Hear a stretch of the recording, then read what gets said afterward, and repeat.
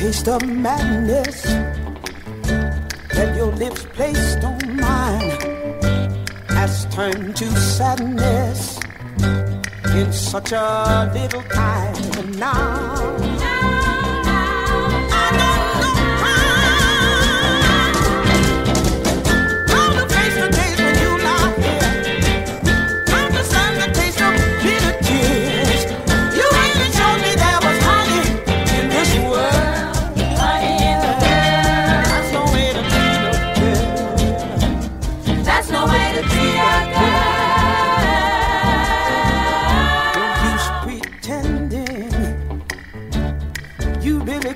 For me.